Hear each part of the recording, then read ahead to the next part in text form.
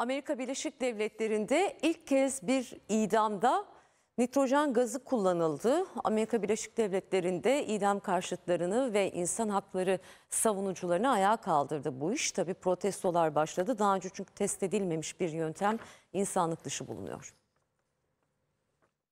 Amerika Birleşik Devletleri'nin Alabama eyaletinde Kenneth Eugene Smith isimli mahkumun idam cezası nitrojen gazı ile infaz edildi. Ask Smith Wares will provide the proper seal. Daha önce test edilmeyen ve nitrojen hipoksisi adı verilen bu yeni yöntem sadece Amerika Birleşik Devletleri'nde de değil, dünyada da ilk örnek olarak kayıtlara geçti. and then replacing his oxygen with nitrogen. 1988 yılında bir vaizin eşini kiralık katil olarak öldürmekten mahkum olan Smith üzerinde bu yöntemin uygulanma sebebi ise Smith'in 2022 yılında zehirli iğneyle yapılan infaz girişiminden sağ olarak çıkması. Nitrojen gazı yönteminin ilk kez denilecek olması tepkileri de beraberinde getirmişti. Ölüm cezası uzmanları ve insan hakları savunucuları yöntemi insanlık dışı bularak tepki gösterirken Birleşmiş Milletler İnsan Hakları Yüksek Komiserliği de idamın durdurulması çağrısı yapmıştı. Smith'in avukatları da yöntemi zalim ve alışılmadık diye niteleyerek infazın durdurulması talebinde bulunmuş ancak yüksek mahkeme avukatların talebini reddetmişti. Son çabalar da sonuçsuz kalınca ilk idam girişiminden sağ çıkmayı başaran 58 yaşındaki Smith bu kez infazdan kurtulamadı. Yüzüne hava sızdırmayacak özel bir maske takılan ve nitrojen gazı soluması sağlanan Smith yerel saatle 20.25'te öldü.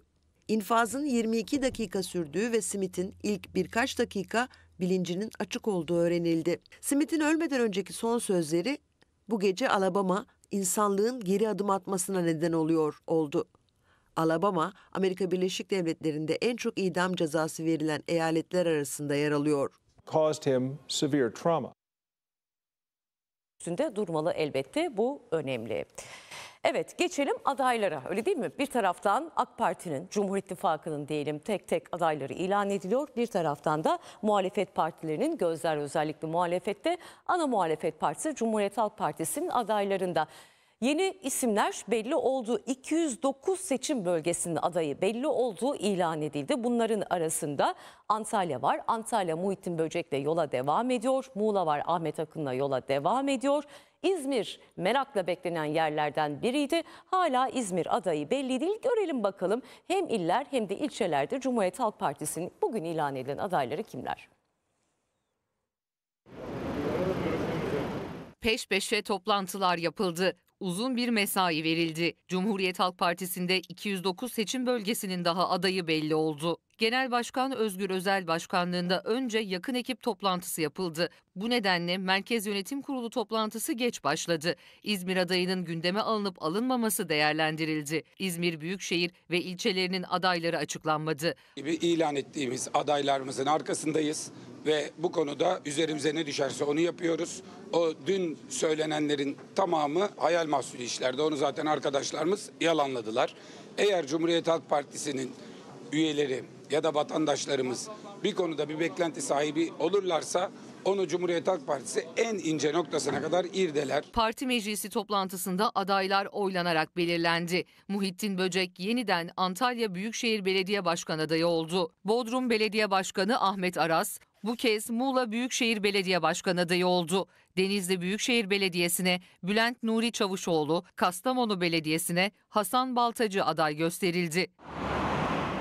İstanbul'da 14 ilçe adayı belirlendi. Beşiktaş, Kartal, Beylikdüzü, Büyükçekmece ve Küçükçekmece'de mevcut başkanlar yeniden aday oldu. Ancak Maltepe ve Şişli'de revizyona gidildi. Mevcut başkanların yerine Maltepe'de Esin Köymen, Şişli'de Resul Emrah Şahan aday gösterildi ve Ankara'nın ilçeleri Mamak için CHP Genel Başkan Yardımcısı Gamze Taşçıer'in adı geçiyordu. Mamak adayı Veli Gündüz Şahin oldu. Büyükşehir Belediye Başkanı Mansur Yavaş, İyi Parti'den istifa eden Mesut Özarslan'ı önce Etimeskut sonra Mamak için önermişti. Özarslan aday gösterilmeyince baş danışmanı olarak atandı. CHP Genel Merkezi Polatlı Nallıhan, Kızılcahamam ve Beypazarı'nda eski AK Partili ve MHP'li isimleri aday yaptı. Bu hafta sonuna kadar açıklanır hepsi.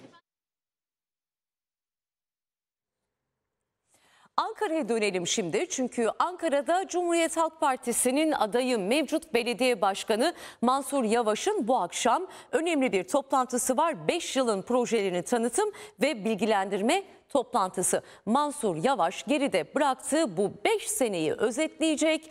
Ee, Eğer yeniden seçilirse bir 5 yıl daha Ankara için neler istiyor, neler hayal ediyor, vaatleri neler bunları anlatacak. Toplantı öncesinde e, bakalım neler yaşanıyor, hangi mesajlar bekleniyor Mansur Yavaş'tan. Halk TV muhabiri sevgili Şeyma Paşayiğit'e soracağız. Şeyma hem projeleri hem